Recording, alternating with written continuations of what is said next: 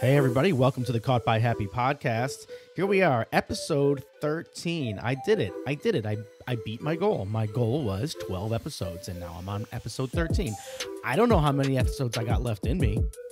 I hopefully like 20. Maybe let's make the next goal 20. Can I do 20? I don't know. I said I was going to do 12. I did 12. Here I am on episode 13. Let's go for 20. I'm going to go for 20. So, welcome to episode 13. Past the goal. I couldn't have done these 13 episodes if it wasn't for the equipment that I went out on a limb and just bought for the heck of it. I went and I and I did go to Amazon warehouse deals to find some of this stuff. I didn't want to spend top dollar on brand new equipment if I didn't even know if I was going to be able to knock out 12 episodes in the first place. But I looked and I found some open box items you know, a couple of microphones, a little audio interface. I mean, I do need to upgrade. I'm at the point now where if I'm going to go for 20, I better upgrade. But Anyways, all that to say, I put a link in my show notes to a bunch of Amazon warehouse deals, open box items that if you click that link and go and shop, I might earn a small commission so I can buy that new audio interface that I need. So check it out. There's no reason for you to spend full price on a camera if somebody got one, opened it up, and said, Oh, I don't want this, and returned it. So I'll, they're just knocking off some money, you know, because somebody already opened the box. They didn't use the camera. It's not broken. It's everything's great. It's fine. No reason to spend more money if you don't have to. I'm all about saving money. Check the link in my show notes. Save yourself some cash. All right, today I'm having a conversation with Kolleen. Kolleen Losch. Now, she was a very, very special friend to me and my wife when we first met. In fact, I wouldn't even know my wife if it wasn't for Kolleen. Kolleen introduced us. She grabbed a phone, stuck it to my ear, and on the other end was this wonderful, lovely woman that I eventually met and fell in love with and got married to. And then we had kids and uh, bought some houses, and here we are. But if Kolleen didn't set up that initial meeting, and if she wasn't just harping on us to meet each other, then uh, who knows where I'd be? I, I don't think I'd be in Virginia. If I didn't meet my wife, I don't know if I would have stayed here long term. But this is where I am now. This is my home. So I am eternally grateful to her for that. She has three wonderful children who are just, uh, you know, in my mind, babies. They will always be babies to me, especially because Kolleen moved away a few years back. You know how that is when you know young children and then they move away and you don't see them for a very long time. And the next time you see them, they're grown ups and you're like, no, sorry, you're still a baby it's it's just mind-boggling to me and i think about the passage of time and my own children and how quickly they're growing up. It was good to catch up with kolleen. We talked a lot about her interest in gymnastics. She was an olympic level gymnast. I, I, guess you could say that. I mean she had the opportunity to go train with uh, bela karolyi the olympic coach. I mean she didn't actually get the opportunity to do it but you'll hear about that Instead, she ended up going to Virginia Tech. She studied communications and psychology. She was a cheerleader, always been fit and active. And eventually, we get to the point where we talk about how she started her business. It's called Core 57. She's a personal trainer down in the suburbs of Atlanta. She's a very driven person, and turning a hobby into a business is something that I think a lot of us, a lot of people who are listening to this have a goal of doing. Like they there's something that they really enjoy doing, they love doing it. Maybe they're not doing it to make money right now or they're not making money at it, but there's potential there. And there's a real passion and a potential to take this hobby and turn it into like a full-time grind and a hustle and Kolleen did that. She worked her butt off to learn everything she could about the science behind fitness, to become certified trainer, to become trigger point certified, all these things that she was talking about that I have no idea what she's talking about because obviously I'm not that guy. But she is that guy. and she's really good at it and she's super driven.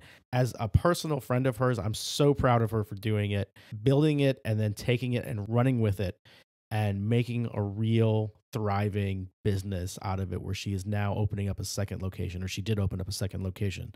Hey, maybe you have a story that's similar to Kolleen's. And if you want to share that with the audience, please email me at caughtbyhappy at gmail.com and I'll get you on here. I got to get to 20 episodes. So come on the podcast and we'll talk about it. But for now, we're going to talk to Kolleen. Just a heads up, we had to do this over Skype. My internet was being a little funky that day. There's some weird noises happening in the background. So I do apologize for that. But if you can look past all that mess, I think you can really pull out some nuggets of wisdom from my friend Kolleen. So let's just jump into it. Let's talk to her. Here we go. Here's my conversation with Kolleen Losch. How are you, my friend? How are you, handsome? I haven't seen you in forever. I mean, I know you've been here a few years in a row, but I haven't been able to see you guys. How are the babies? Babies are good. Okay. So, Kolleen. Yes, sir. First of all, like, I would not have children if it wasn't for you. I would not be where I am now. I probably wouldn't even live in Richmond. I don't even know where I'd be if I didn't meet you first.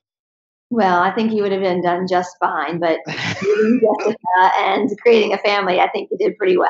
So yeah, so like, let's. Can you tell me the story about? I, I know the story obviously because it happened to me, but I want to hear it from you, like from your perspective. How did you setting up me and my wife happen? Oh my gosh, I have. So first of all, you know that I adored you, and you and I were very good friends, and um, I adored Jessica, and she was like my little sister, the little sister I never had, and knowing you and spending so much time with you in the mornings when we were doing when you were the camera guy, director, and all that, and I was just a little peon doing traffic reporting, you and I had a really tight connection.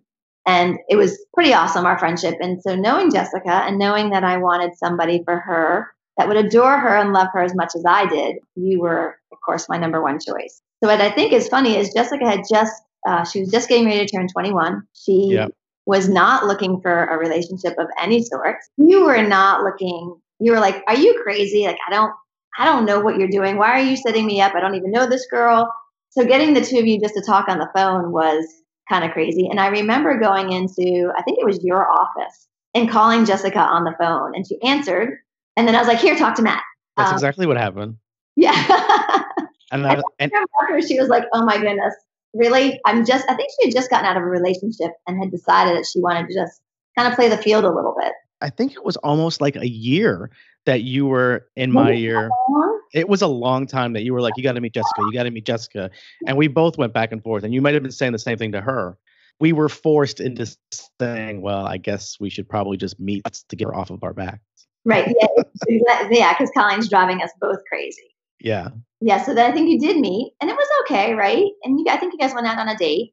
And then what I, but I don't remember what happened after that. What I remember is when she turned 21, you yeah. showed up, I think, with flowers and really romanced her. Sort of. I mean, I think we went out on a couple of dates and it was like, okay, well, she, you know, she's young. Then she turned 21, had a big party, and I think she got like a little tipsy and she called me that night. that's not the story I got from her, but well, I'm sure. Yeah. Anyways, we at that point where she realized that she wanted to kind of figure out whether or not you were going to be part of her life, and yeah. then went from there, right? Yeah, I mean, God, saying 21, it just sounds so damn young. I mean, wow. what was she thinking at 21? She had her whole life ahead of her. yeah, she was so, you know, she, Jessica, you know her, you love her, you're married to her. She's always been older than her years, right? She's a lot wiser and yeah. um, she's just a great person. And so I was very happy that the two of you listened to me and got married and then had three beautiful babies. Yeah. And speaking of babies, your babies were in our wedding. And they were, yeah. yeah. All three so, of I mean, you've just been such a like big part of our lives, even though you're so far away now yeah, I know, but there's special people in your life that you don't have to see and talk to all the time that will always, this will always be part of your life. And that's what you guys are to me and certainly to my children. Yeah, for sure. Okay, so tell me about where you grew up. So I was born in the Poconos. My mom was a single mom. My dad left when I was very young, 18 months old. Um, and my mom and I, very small house, very simple life. And then when I was seven, my mom remarried. And then we moved to Virginia and he adopted me when I was eight. We lived in Virginia wow. from first grade up into the middle of eighth grade is when we moved to New Hampshire. And so from the middle of eighth grade to college, I lived in New Hampshire, went to Virginia Tech. Parents still lived in New Hampshire. And then after I, wow, I know, left New Hampshire, I, um, I met my first husband and moved to Richmond, Poconos, Pocono, PA, to Fairfax, Virginia, to Nashua, New Hampshire, to Virginia Tech, to Richmond, Virginia, and now I live in Georgia. Your biological dad, have you ever had contact with him since then? No. The last time I saw him was when I was three years old. Oh, wow. Any idea whatever happened to the guy? I do. Um, you know, it's kind of a crazy story. He wasn't, my mom has never really said a bad word about him. Uh, but I did not have the best childhood with him. You know, he was not a nice man. He physically abused my mom. Um, there's, so there's a lot that came out as I got older that I didn't know until I was in my late 30s. Yeah. Yeah. I know uh, Bob. Yes. I mean, what a great guy. I mean, if anybody's going to step in and be the dad. Yeah, I always said that I was really lucky because I got to choose my dad right? Not many little girls get to choose their dad. They're just kind of given their dads. You know, my mom, the moment my dad and my mom started dating, I was five. They got married when I was seven and he adopted me when I was eight. From the beginning, I just I fell in love with him and we just had an amazing bond at five years old. My mom at that point was still not convinced that she wanted to get remarried and she just loved having me. And so she would dated a couple of men and when my dad, who now is my dad, when Bob would come into town because he lived in Virginia, he would ask if we did anything over that month because we'd only see him once a month. And I was like, no, even though I knew my mom had gone on a date, I didn't want my, at five years old, I didn't want my mm-hmm. dad to know that my mom, and my mom was like, he already knows, but I just wanted him to be part of my life so badly that yeah. I wasn't willing to screw it up at five. Yeah. I mean, that's pretty, that's a pretty special connection. Yeah. To be, to be so young and have that.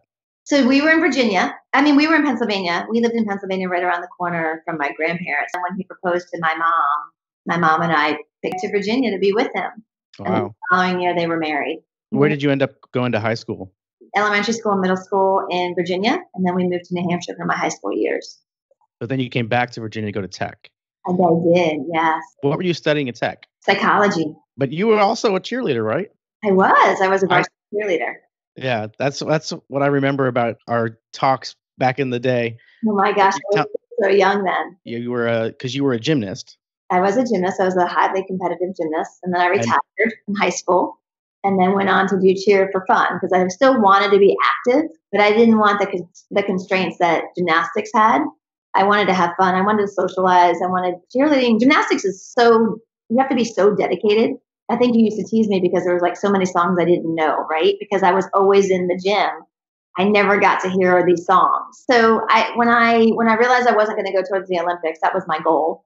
I had gotten a scholarship to Penn State. Offer, you know, kind of like it was not a, a written offer, but Penn State was in, were interested. A gymnastics scholarship? Gymnastics. Mm-hmm.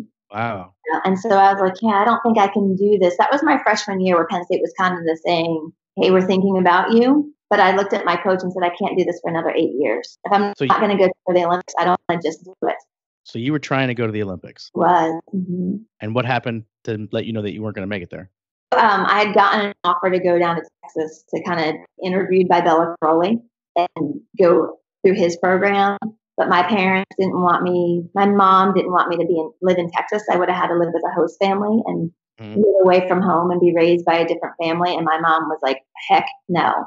So they kind of put the kibosh to that. And once yeah. the kibosh was done to that, I was like, gosh, that's all I really ever wanted. Was that tough? Did that cause a lot of fight? Uh, no, I think because of uh, the past with my mom and myself and our journey, um, I never wanted to disappoint my mom. My mom had had a lot of heartache and a lot of hurt.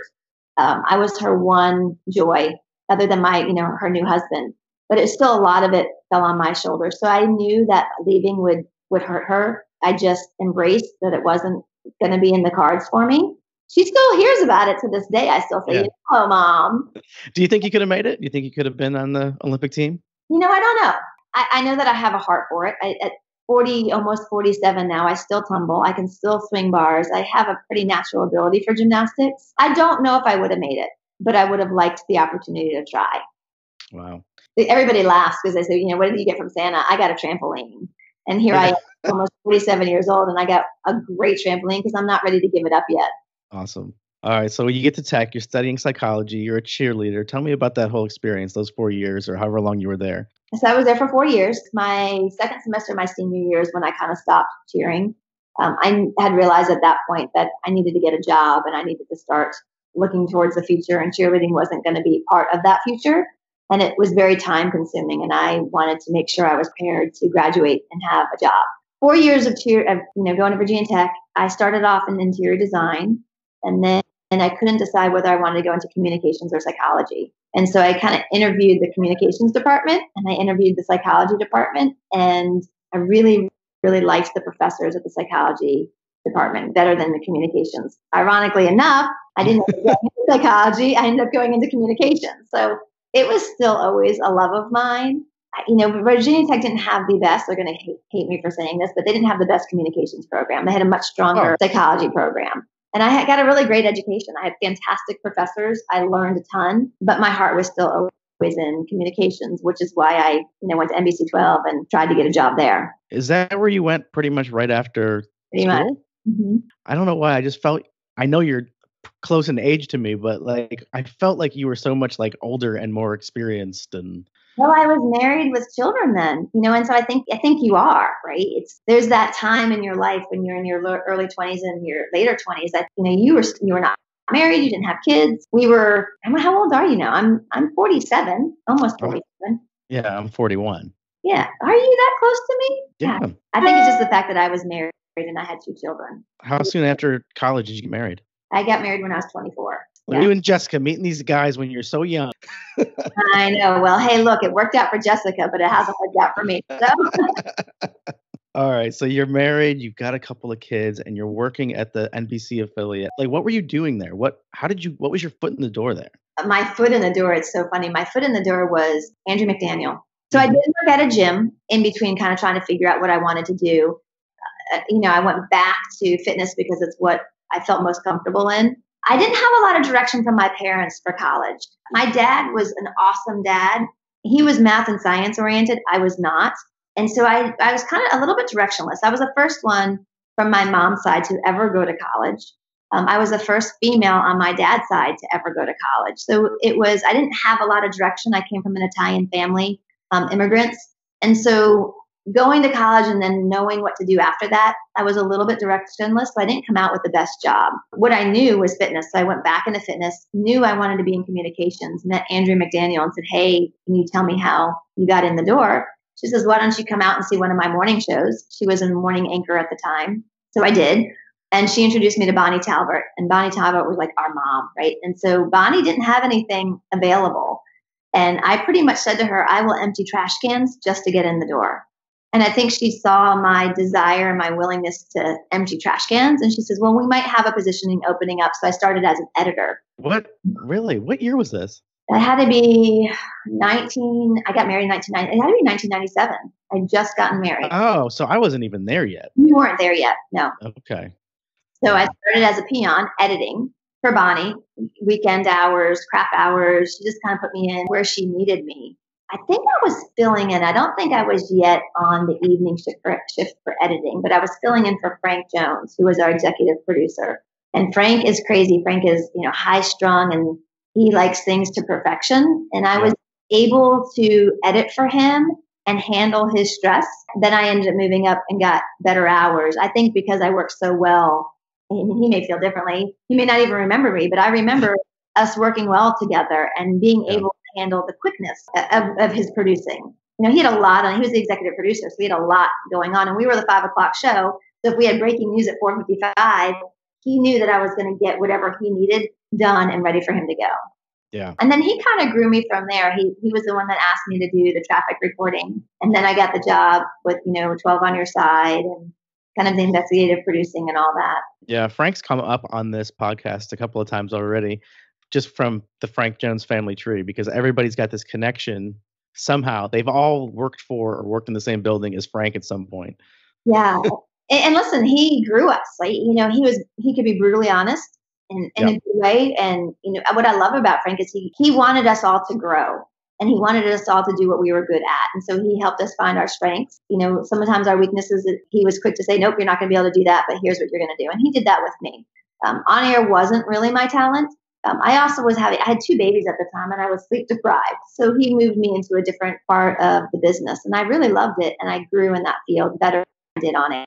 So did he put you into the producing role? You were doing like he field producing, like special projects? He did. He in special projects. He recommended me for that. Did you really like it? I did. I loved it, and it was the right call for me. And and also, what it allowed me to do is I had a lot of flexibility with raising my kids. Special projects wasn't. I didn't have to turn a story every single day you know, we get to work on stories, we get to dig in a little bit deeper, do a little bit more research. And I find that to be a lot of fun. What happened with the traffic stuff? Because when I was there, you were kind of filling in and practicing, I, I guess, a little bit. I think Frank was trying to see whether or not I had talent for on air, and and and I didn't. Right, and I don't know if it was timing. Again, you had to get up really early in the morning. My brain was a little bit foggy, and I had the babies at home, and I was sleeping maybe three hours a night. And I don't think you can do anything well when you're only sleeping three hours a night. Yeah. And, you know, maybe if it was prior to my children, I'd like to think that I would be a little bit more successful, but it just wasn't the right time for me. And I didn't do a great job on it. And it's okay. I remember helping you, like trying to help you along and like I was so nervous, right? I was really nervous. Yeah, you were really nervous. When you want something so bad, which I wanted it so badly, I almost hung myself with it. Um, yeah. I wanted it that badly. And Frank just kept saying, relax, relax, relax. And I couldn't relax because it was my dream to be on air and I was overthinking everything. When did you realize like, all right, I'm I'm gonna stop doing this now? I think when Frank told me you're done. did it crush you? It did because I don't like to fail. Yeah. I, you know, I'm I've always been one that I'm coachable. And it, it did crush me. It was probably the first thing in my life that I wanted so badly that didn't work out that I didn't get. And then there was no opportunity to try again. That was what was so difficult about it. Well, because at that point you had been working at the station for a while. Yeah. Oh, yeah. I had been there for about five years, and I'd always been able to work my way up into what. You know, I'll never forget when Frank came to me and said, "We want to put you on air." I mean, that was my dream. So it was a little bit devastating. You know, I would love to do it. I would still love to go back in the TV's capacity, but this time I'd like to talk about fitness. Of course you would. Not really passionate about traffic. No, not really. And what did you do after that then? So you were kind of there and then you were gone. So not long after that, I got pregnant with my third child, had Cadence, still did pre- special projects. Cadence was born in February of 2005. So she was born in 2005. My husband was transferred to Atlanta in uh, March. She was born in February, March of 2005.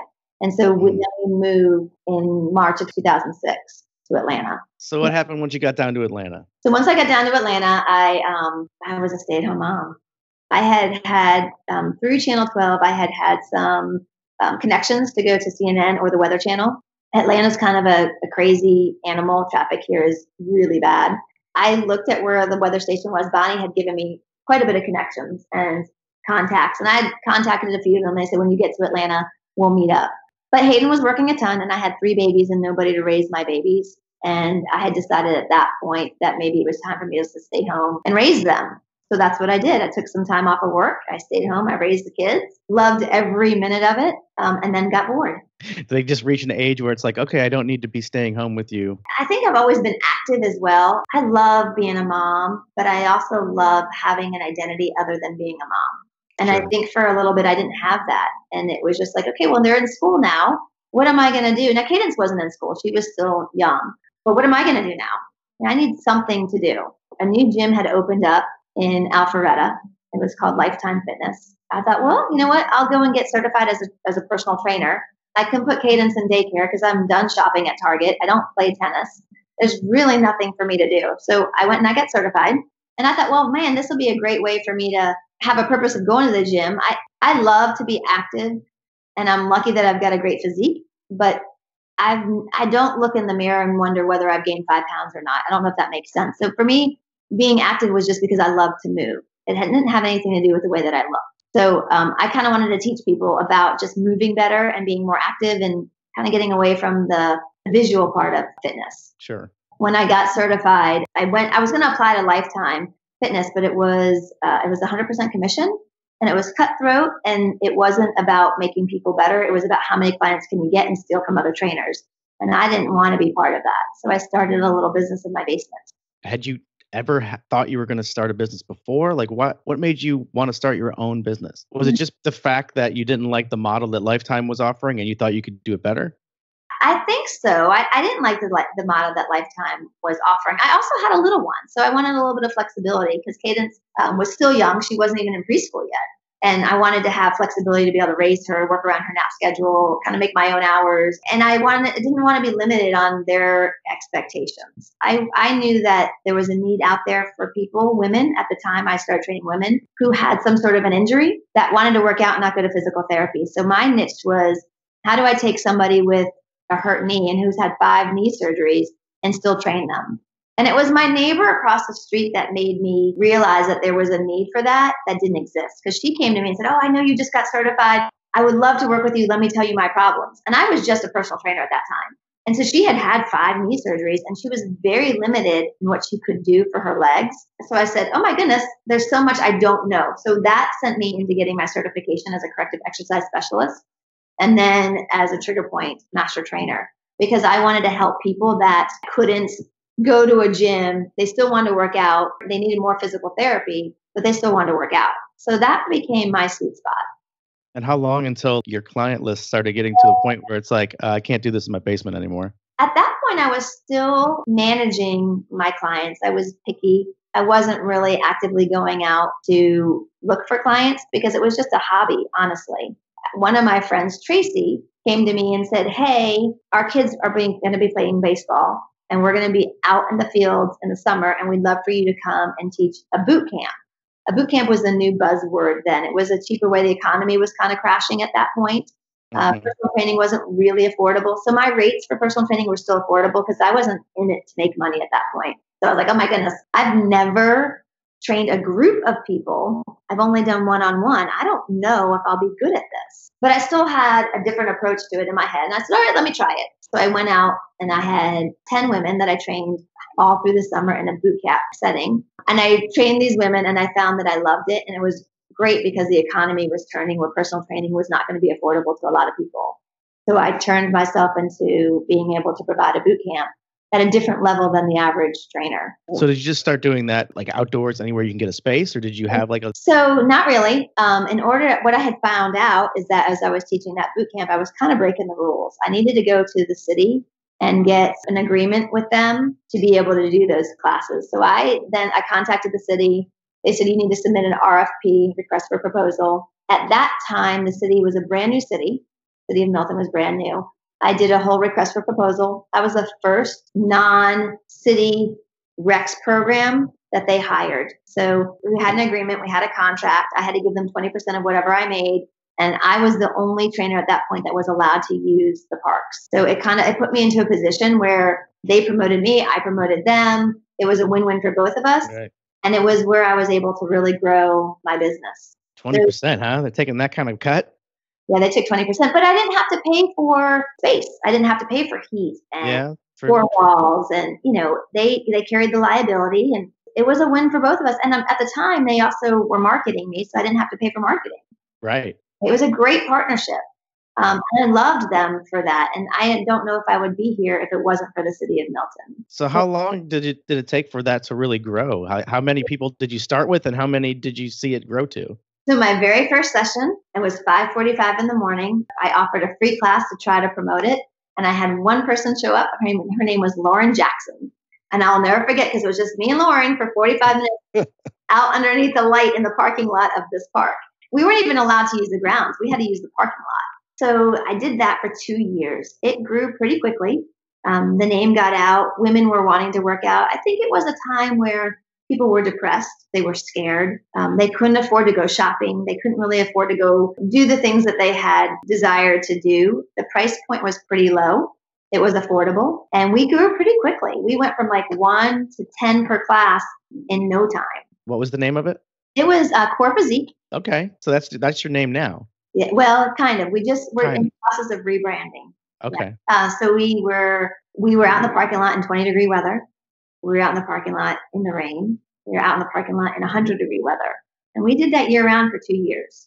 So it was it was a tough time. I mean, golly, I can't I can't believe some of my members that were my original members are still with me now.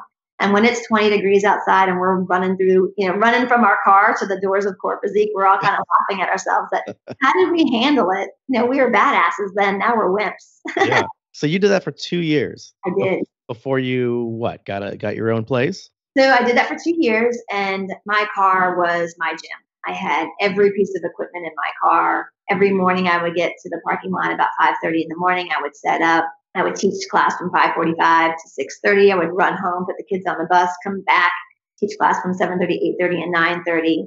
Put the equipment back in the car, you know, go home and do little things, get the kids off the bus, go back at night, teach a 6:30 class. So doing that for two years, my car, there's a lot of wear and tear on my car, on my equipment, you know, and, and again the elements. You have to kind of dodge the elements and be able to work around that. And it got to the point where we were so successful that I almost had too many clients to be able to handle an outdoor boot camp of that capacity. With rent being so low and the economy being, being down, I was able to find a space. I could just take my existing client, move them indoors, and not miss a beat and be profitable right away. And so that's what we decided to do. The people that you kind of started out with and were with you throughout these two years, did getting to know them at all, you know, hearing about whatever their motivation was for moving and getting in shape and staying fit, did it change your philosophy on how you were teaching people? Hmm, that's a great question. I don't think my philosophy has changed much. I think my philosophy is what brings people to me. Everybody has a story. And one of the things that I'm really good at is getting to know people. The science part of the personal training, that was hard for me. Learning science at an older age and having three kids and trying to work again around being a mom and a wife, learning the science, because I really wanted to dig in deep. I wanted to learn how the human body moves. It was not just about a bicep curl or you know, a dip or a skull crusher. It was there was so much more. I quickly learned there was so much science to fitness, and we were missing that. We weren't educating people on that. So when Tracy had come to me to do that outdoor boot camp, I said, you know, I'm going to do a different approach. I'm going to have a binder, and every week I'm going to give them homework, and I'm going to educate them on their bodies and how we burn calories and you know, there's just so much I wanted to teach men and women about their bodies when they work out that they weren't being taught. And so my philosophy has always been education first, movement second. And I, I don't think my philosophy has changed. It's always been that way, but that's what sets me apart from the rest of the fitness population. I think that's what's made me so successful. And the fact I think, I mean, I don't want to put words in your mouth, but you said earlier, you're not the type of person who is looking to drop five pounds because you have a piece of your body that you don't like. You're doing right. it really to just to move and to be active and to stay fit. To live a longer life we just we don't we I always say to my clients we get one body and we get multiple cars like we take better care of our cars than we do our own body. We can trade our car in when it starts to break down on us right? We can get new wheels and tires and there's so many things we can do to our car. And we all take pride and most of america takes pride in their cars but most of america does not take pride of their in their bodies. And we get one body. We get one life one shot. And for me i just want to teach people how to be able to capitalize on that and be able to move better and just be healthier. Mm-hmm. It's not about the way we look on the outside. It's about how long are we going to live and what are we going to be able to do when we're 70 years old. I don't yeah. want to stop moving. Right. Are you going to be an 80 year old who's sickly and bedridden, or are you going to be 80 who's spry and can move and a little active, you know? Yeah. And what we do today can affect tomorrow. Okay, so you get you get your you get your place. You got your your building. Like what, when you walk in, did you have an idea of how you're going to set this up? What was that like? Trying to figure out how you're going to decorate the place, how you're going to order a bunch of furniture and equipment and all that stuff you need. Yeah, the build out was crazy. It was, um, and that was before Pinterest, right? it was a lot of research and and going around and looking at gyms. I knew my philosophy. Fortunately, I'd been doing this outside for two years, so I kind of knew what elements I wanted to bring into the gym. The thing that I had gotten was ugly, so I had to pull out the carpet, and it was ugly walls, and it was awful. And and it's in a V. My my original location, Core, 50, Core Physique, is in a V. So you walk in, and it's kind of open in a V, and the offices and the bathrooms are in the middle. So I also was kind of curious on how I was going to use that space. Um, it's almost divided into two, but the beginning is shared and then it goes out to a V. And, and we've done a really good job of creating and working around really good space. That was fun. It was daunting and, and nerve wracking, yeah. but it didn't take us long to figure out how to program design in there. And we just took what we were good at and then we were able to add to that, which was fun. Yeah. Did you feel comfortable doing that? I mean, I don't know if you, you know, I, I, I don't know if you opened a business before where Part of my personality is jump and then think. I kind of jumped and I thought along the way, and it just worked out. Uh, there wasn't a whole lot of planning. And remember, at the time, this was a hobby for me. Um, it was a way to simplify my life because it was getting to be, I was working so much, I had so much equipment. I didn't have any room for the kids' soccer bag anymore, the baseball bag. And so by putting my boot camp indoors, initially was a way just to simplify my life, get my car back, and not have to worry about the elements. So I wasn't I, I wasn't looking to grow it to where it is today. The day the doors opened is when my husband and I split. So it me into a different a different field. Like all of a sudden this hobby was no longer a hobby. It was now going to be my survival. Holy cow. I didn't know that. Yeah. Yeah. you opened your doors. Like, did you were you there like training people that day and everything? We had not really opened. Um, we were in the process of build, doing build out when Hayden left, and so um, yeah, I mean, for a couple of days when the when the doors had opened, nobody knew that we were separated.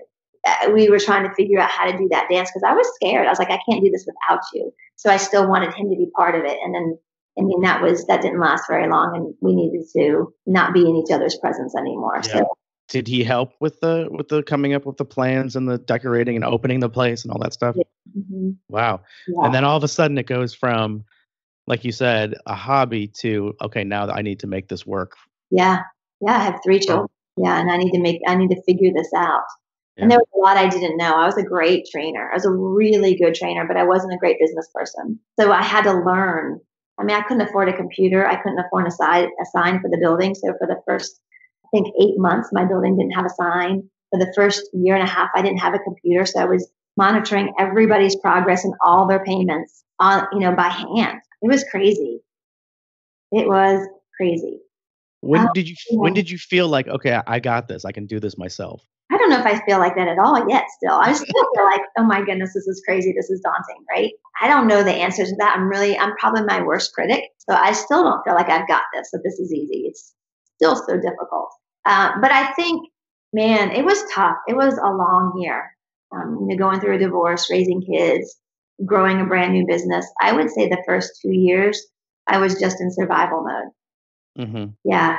And that's a little bit of a fog. And, you know, I lost a ton of weight. I was really skinny. I would have told you that everybody knew that I was getting divorced. And now people that know me will say, we had no idea. Right. I hit it well. I just did what I had to do. I just, I jumped right in and you just do what you have to do. Did you focus a lot on the business? Like just diving in to that yeah, or my kids in the business. So my, the way that my days worked on the weeks that I had the kids, I was in the gym at 5:30 in the morning. I taught a class. I'd run home. I'd wake them up. I'd feed them. I'd drive them to school. I'd come back and teach the 7:30 class.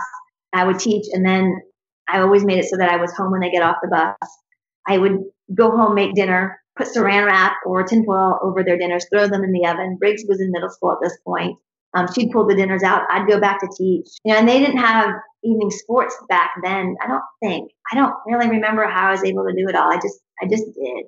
You just did it. Did it. Yeah. Yeah you're never going to remember. You're just going to look back on it and know that you did it. Yeah. Yeah. It just was, it was a crazy time in our lives. I mean, we yeah. just did it work. We just did what we had to do. Yeah. So I think that was about two years. Um, and the gym was doing great. The gym was growing. I was getting, I had at that time also um, gotten promoted to Trigger Point Senior Master Trainer. When I hit the industry, I had very clear goals for myself. And part of becoming a trainer, I had, I went to Virginia and I attended a fitness conference called IDEA PT Institute, and it was a conference for for personal trainers in Washington D.C. and it was three days long. I wanted to attend more of those. So what I did, I couldn't afford them, so I learned how to be uh, a worker for them. So I got to attend the conferences for free. So the next one I get, they invited me out to Chicago. I applied. I was accepted into their program, which meant wow. I work the conference and I got to attend certain sessions for free. So I would work my sessions around the work schedule that they provided for me. And so I made friends with one of the guys. His name was Alex. Um, he was kind of my boss for that weekend. And he said, Hey, let's go grab a drink real quick. And I, afterwards, because he said, You work really hard and I, I love having you on my team.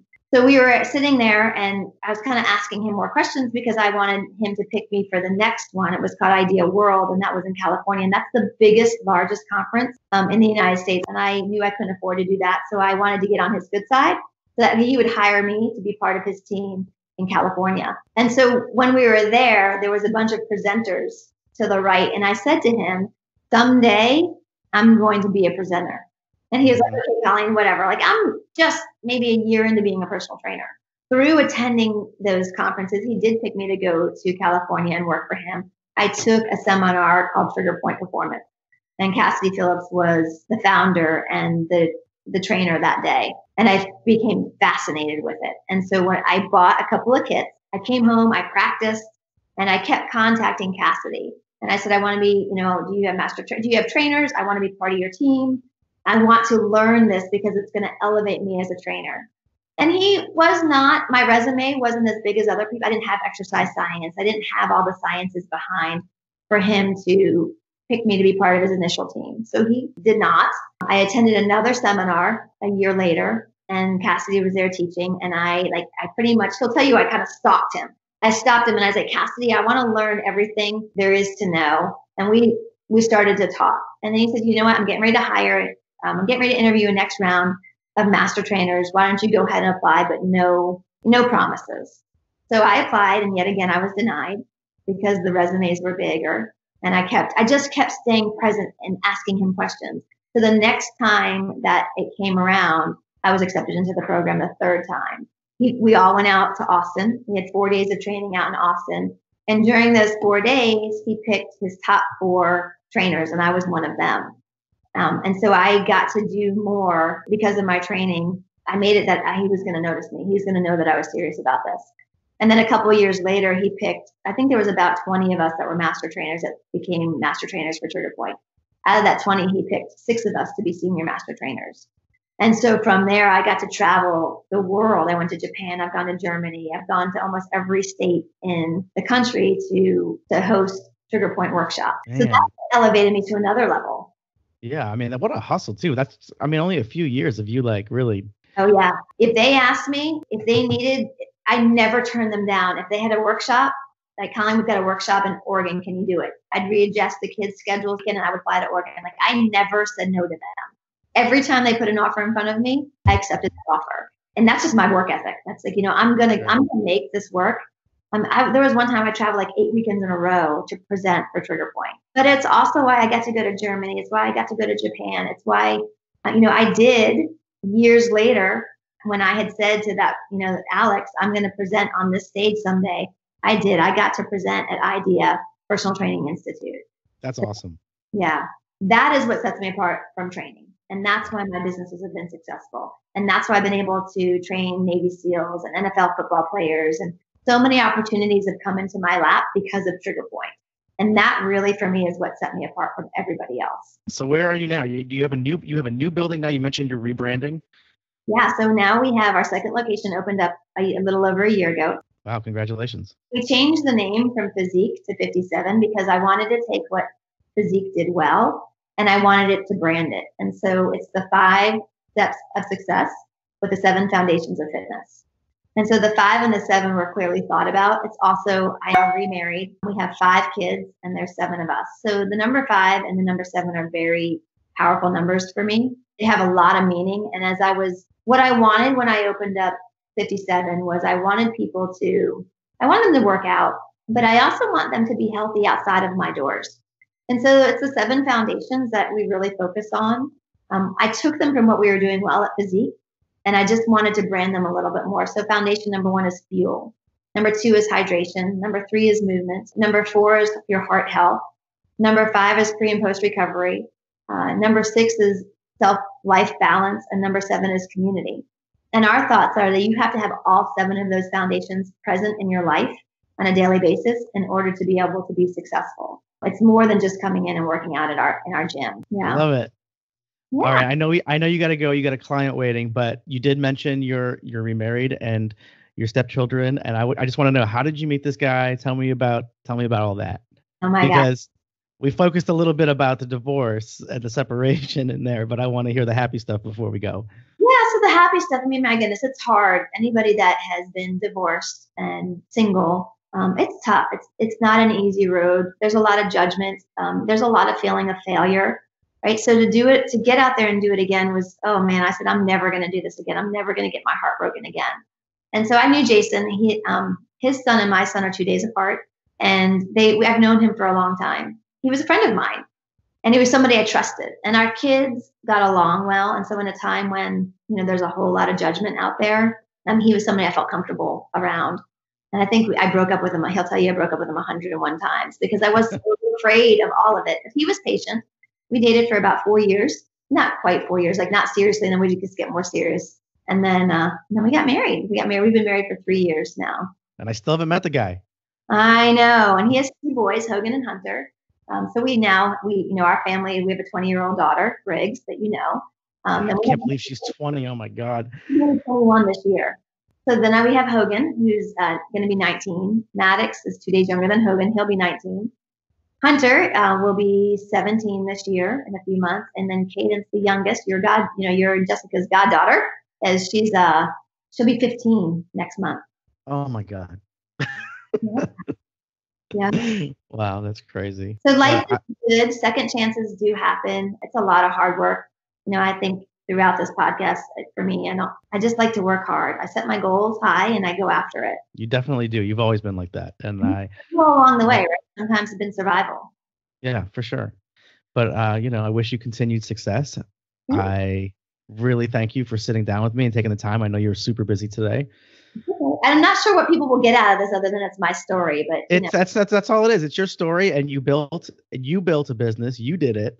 You're yeah. still growing. I am still growing, and, and you asked me, you know, success is it easy? And I had a girlfriend call me the other day, and she said, you know, Kolleen, I was doing this thing, and I had to write down somebody that I thought was so successful and so determined, and just is making it. And she goes, and I picked you, and I was like, oh my goodness. Yeah. I don't see my eye. I don't see myself through those eyes. Well, you know what? I, I talked to a couple other people who have built businesses, and they all say similar things to what you said earlier about hustling to the point where you're like trying to get on stage and be uh, a presenter. You know that you're pretty much going to be spending a ton of time doing this stuff, and it's a sacrifice, but you're going to learn everything you can at the expense of your own sanity to get to the point where you need to be. Right, exactly. You know, set your goals and go after them. A lot yeah. of hard, a lot of grit, a lot of sleepless nights. All right. Well, thanks for catching up with you. Yeah, it's good to talk to you too. That was pretty good, right? Hey, if you liked my conversation with Kolleen, why don't you go to your podcast provider, wherever you're listening to this thing, see if you can leave a little rating or a review. Hey, I, I am open to any and all kind of feedback that you guys want to share with me, or you can email me directly at caughtbyhappy at gmail.com. And if you're interested in learning more about Kolleen and her business, Core 57, and you happen to be in the Alpharetta, Georgia area, why don't you go core57.com, check it out, pop in there, take a class. I don't know. I wish I could give you a special code for like a free month membership, but she didn't tell me I could do that. But uh, if you pop in there, just tell her I sent you. I don't know how far that'll get you. But if you do want to buy things that I recommend, I guess you could always look at my show notes because that's where I'm going to put the links to any products or anything that I'm actually repping right now uh, through affiliate links or whatever it might be. All right, everybody. I will see you next time on the podcast. Thanks for listening. Bye.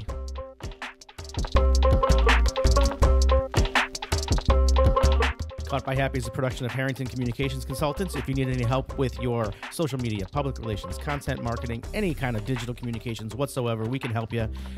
Hit us up at harringtoncc.net and we'll get you straight.